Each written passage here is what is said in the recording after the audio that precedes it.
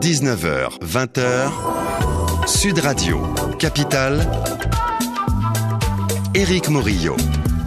Bonsoir à tous, il est 19h04, je suis très heureux de vous retrouver comme chaque soir en direct dans votre émission Sud Radio Capitale sur 99.9 à Paris et en région parisienne s'il vous plaît. Votre rendez-vous incontournable pour tout savoir du lundi au vendredi grâce à nous, de ce qu'il faut aller voir à Paris, des bons plans de sortie mais aussi et surtout de ceux qui font l'actualité dans la capitale. Alors ce soir, je n'ai pas un invité mais une invitée. Alors avant de la présenter, si je devais un petit peu décrire le spectacle qu'elle vient nous présenter, je le décrirais de cette façon. Quand le chic parisien rencontre Cabaret, Chorus Line, Chicago, quand le glamour à la française embrasse l'univers de Liza Minnelli, Frank Sinatra, Marilyn Monroe, Peggy Lee, on parle de Mademoiselle. Mademoiselle, c'est une célèbre meneuse de revue. Elle enflamme depuis des années les plus grandes scènes parisiennes. Et le soir de ses adieux, dans l'intimité chaleureuse de sa loge, elle nous livre l'histoire de la petite fille au grand rêve. Bref, son histoire. Et son histoire, eh bien, c'est celle, en coulisses, bien sûr, d'Isabelle Laillé. Bonjour Isabelle, on est ravis de vous recevoir. On se connaît un petit peu, donc on va pas mentir à nos auditeurs. Euh, mais qu'est-ce que tu parles bien de mon spectacle J'en parle J'adore. Mais je pense qu'avant même de continuer à en parler toujours aussi bien, le mieux pour nos amis auditeurs, c'est d'en écouter un petit extrait et on se retrouve juste après.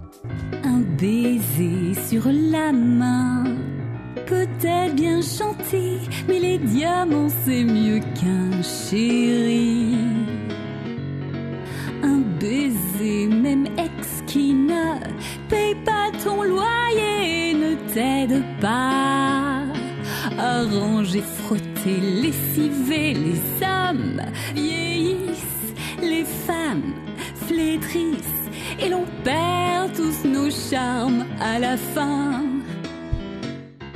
Mais les diamants, c'est chéri. Voilà, donc c'est la voix de notre invité ce soir. Bon, on va arrêter parce que sinon il n'y aura plus besoin d'aller voir le spectacle. Ah ben non, venez. Donc c'est au Théâtre du Marais. Ça s'appelle Mademoiselle le spectacle musical. C'est donc avec notre invité Isabelle Laillé et également Vincent Gaillard au piano et aux arrangements. Il ne faut pas l'oublier, une mise en scène par Philippe Davila. Alors Isabelle Laillé, nous venons donc d'écouter un extrait de Diamonds Are the Girls' Best Friends. C'était quand même Marilyn Monroe, c'est ça? Absolument, Marilyn. préfère les blondes. Et comme tu peux le constater, c'est une version française. Donc l'idée de ce spectacle, ce sont des grands standards euh, du jazz, cabaret, comédie musicale américain, pour la plupart adaptés pour la première fois en français et qui permettent de suivre l'histoire de cette euh, femme qui part à la conquête de ses rêves. Et évidemment, ça se passe pas du tout comme prévu et c'est là que ça devient intéressant. Du coup, il y arrive des, tas d'histoires euh, drôles, glamour, palpitantes. Alors on vibre avec elle, on la suit dans, dans toutes ses aventures.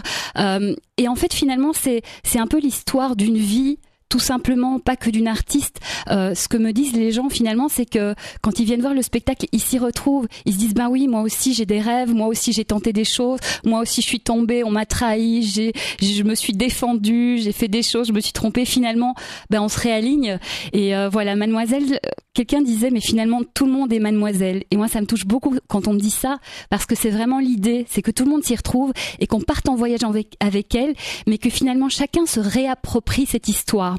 C'est une histoire et puis chacun y met sa couleur. Et ça, ça me plaît énormément. Alors Isabelle Laillé, tu as un peu décrit euh, le pitch là du, spectacle. Avant cela, j'aimerais en savoir un petit peu plus sur toi pour ceux qui ne te connaîtraient pas encore. Il y en a euh, beaucoup. ton parcours. Donc tu es venu comment euh, à la musique d'abord peut-être? C'est une passion depuis toute petite? Ce qui est incroyable, c'est qu'effectivement depuis toute petite, je chante, je danse, je saute dans tous les sens, je casse, je cassais tout ce qu'il y avait autour de moi à la maison. et, même avant de, prendre des cours de chant, de danse et compagnie je réunissais mes cousins, je montais des spectacles, c'est-à-dire que n'ayant personne dans la famille artiste, j'avais ça en moi. Qu'est-ce qu'ils faisaient tes parents par Oh, ils étaient dans, dans la gestion immobilière, donc rien à voir, vraiment. Et j'ai pas d'artiste dans, dans ma famille, rien du tout. Et donc c'est vraiment quelque chose qui euh, c'est fou, mais finalement dans l'enfance se trouvent les germes de notre passion. Et euh, j'ai envie de le dire à tout le monde parce que il y a des gens qui savent. Je, rencontre beaucoup de jeunes et, et, et de gens qui n'ont peut-être pas forcément trouvé leur passion. Et euh, bah, d'expérience, je peux le dire, euh, il y a des choses qui se passent dans l'enfance qui sont très fortes pour nous et parfois on les laisse de côté. C'est dommage parce qu'il y a des clés de notre de notre bonheur. Et donc voilà, donc petite, euh, j'ai toujours fait ça. Après évidemment, j'ai pris des cours de chant, de danse, de théâtre depuis toujours. J'ai eu une vie, je viens de Bruxelles moi à la base, donc j'ai une vie Ah artistique à Bruxelles. Et puis euh, j'avais un peu fait le tour de, j'avais fait des choses vraiment super, mais à un moment je tournais en rond. Et du coup moi je suis quelqu'un qui, qui euh, passe sa vie à courir après ses rêves, un peu comme Mademoiselle. Et du coup je, je me suis dit bon bah c'est quoi mon prochain rêve? Et mon rêve c'était Paris, tenter ma chance à Paris. J'ai pris ma petite valise et me voilà débarquant à Paris. Alors on va continuer bien évidemment à parler de ce spectacle. Donc Mademoiselle, le spectacle musical au théâtre du Marais. Euh, tu interprètes donc euh, ce personnage les jeudis et vendredis à 20h très précisément. Exactement. Donc on a de la chance de t'avoir aujourd'hui. Un petit mot de ton acolyte Vincent Gaillard au piano et aux arrangements? Alors Vincent Gaillard, non seulement c'est un super pianiste, mais c'est aussi un super comédien. Et du coup, il permet à justement dans cette histoire de, de créer plus de plus de profondeur, plus de moments. Il est très très drôle. Il apporte une dimension comique incroyable à ce spectacle. Et c'est vraiment un bonheur d'être ensemble. Et aussi, je tiens à saluer La mise en scène La mise bien en sûr. scène, Philippe mais- Davila. Mais c'est incroyable. Franchement, Philippe Davila, euh, on se connaît depuis la Belgique. On était tout jeunes artistes ensemble. Puis il est parti dans son aventure, euh, Roméo et Juliette, où il a été euh, une grande vedette. Et puis depuis, il fait des spectacles qui lui ressemblent et, qui sont merveilleux. Je savais que en travaillant avec- Philippe, on, on- ce serait vraiment bien. Mais en fait, il m'a étonné, mais d'étape en étape, il m'a appris plein de choses. Et surtout, à un moment, je me suis dit, mais il a fait tout, en plus de la mise en scène qui est vraiment saluée par tout le monde, il a fait tout l'univers visuel, les décors, les costumes qui sont incroyables. Il a apporté une âme à ce spectacle. Il m'a aidé à coécrire euh, cette version du spectacle. Et en fait, je pense que on n'est pas loin du génie, en fait. Ah oui. Alors, il déteste que je dise ça, mais franchement, moi, je m'y connais vraiment bien en spectacle parce que c'est ma vie depuis, depuis toujours. Il est incroyable. Et donc, c'est un honneur, c'est un bonheur de travailler avec lui, avec Vincent, avec Hervé Compan, notre producteur qui a cru en nous. Et euh, on vit une expérience fabuleuse, tant artistique mais aussi humaine. D'ailleurs, on passe notre vie à s'envoyer des messages avec des cœurs. Euh, Guillaume Bertrand, notre attaché de presse, qui est là, qui rigole parce qu'il sait de quoi je parle. C'est vraiment fabuleux et je, et je pense que ça se sent sur scène en fait.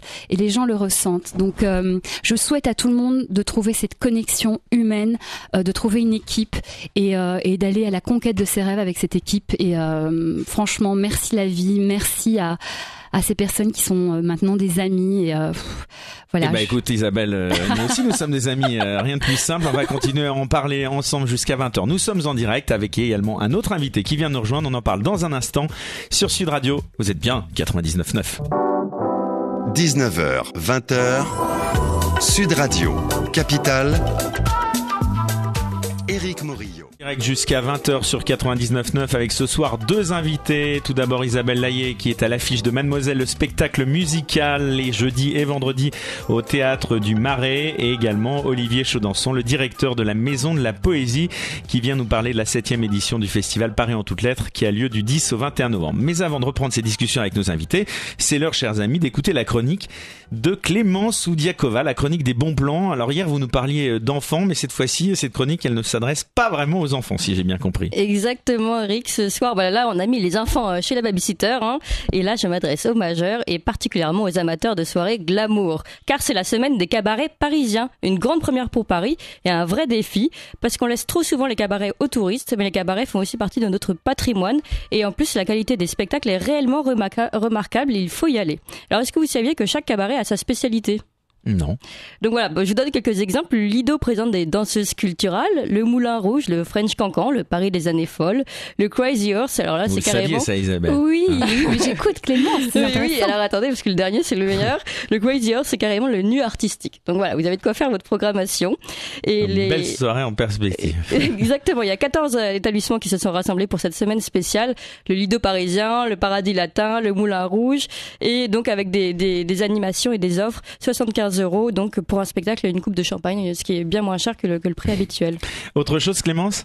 Oui, donc euh, d'abord, vous pouvez gagner des packages spectacles euh, avec euh, donc le, le cabaret plus un hôtel de luxe derrière pour une soirée euh, glamour plus Ah, plus plus. carrément. Ça c'est sur le site de la semaine des cabarets parisiens. Interdit au moins 18 là. Ouais, exactement. Et puis si vous voulez continuer dans la balade en amoureux, eh ben vous pouvez arriver un petit peu en avant si vous promenez dans Montmartre sur les pas des impressionnistes. C'est une application euh, qui s'appelle Balade impressionniste à Montmartre qui coûte 2,69€ et là vous pouvez visiter le quartier euh, voilà euh, Eh ben, en amoureux par exemple. Eh, eh ben, merci beaucoup Clémence pour cette chronique. On se retrouve demain comme d'habitude et justement la transition est facile. Après avoir parlé de Montmartre, ça m'amène à vous parler de Paris. Alors nous recevons Isabelle Laillé, donc qui est à l'affiche de ce spectacle. On ne cesse pas de le dire, Mademoiselle, le spectacle musical qu'il faut aller voir au théâtre du Marais les jeudis et vendredis. Et pour nos amis auditeurs qui viendraient de nous rejoindre, je vous propose justement d'écouter un extrait de ce spectacle, un titre de circonstance. Isabelle Laillé, J'aime Paris, un extrait du spectacle Mademoiselle sur Sud Radio. J'aime Paris quand elle s'éveille. J'aime Paris, la rebelle. J'aime Paris qui s'étourdit après minuit. J'aime Paris, ses lumières et sa frénésie. J'aime Paris à chaque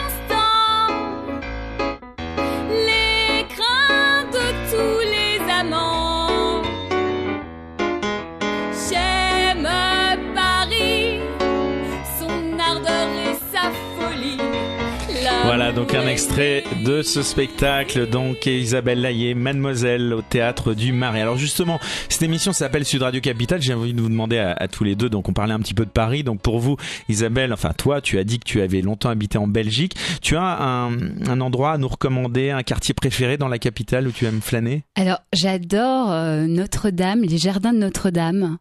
Je ne sais pas pourquoi. Alors, j'aime l'eau, j'aime cette immense euh, euh, bâtisse qui a une histoire, euh, qui a une histoire, voilà, artistique aussi. Enfin, où il se passe, je sais pas, il y a une âme, il y a quelque chose qui me plaît énormément.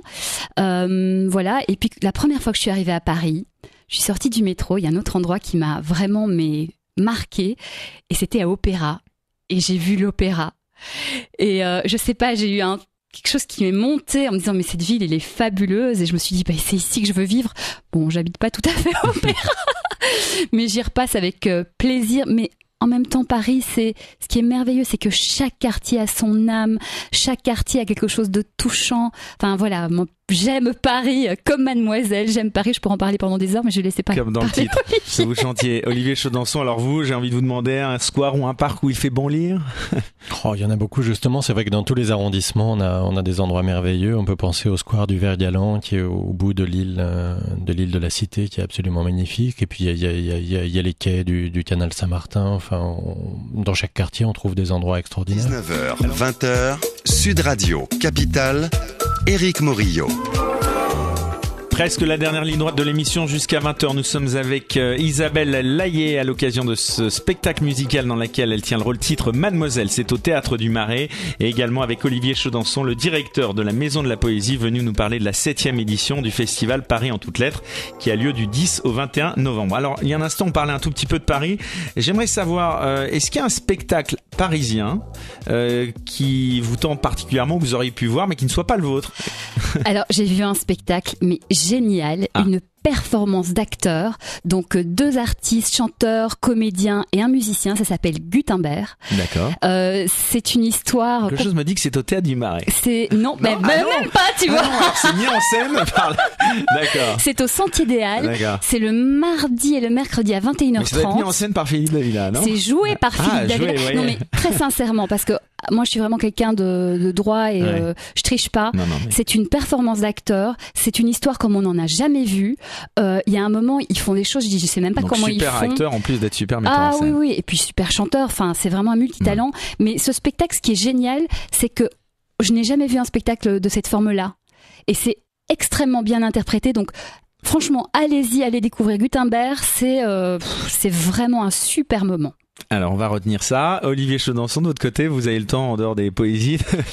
Je, je suis un peu honteux, mais je suis à la maison de la poésie tous les soirs, puisque Ah ouais. chaque soir, euh, la proposition est différente. Alors, bien c'est que je l'occasion. peux, je peux, Bah vous, vous je êtes, peux euh, sortir. vous pouvez de manière euh, objective nous peut-être nous recommander plus particulièrement euh, un concert ou une Pau dont nous n'avons pas parlé, même. euh, Ah, dans le cadre du Festival voilà. Paris en toutes lettres, je peux parfaitement. Vous pourrez entendre euh, Brigitte Fontaine qui va évoquer bah, un immense écrivain qui est Kateb Yassine.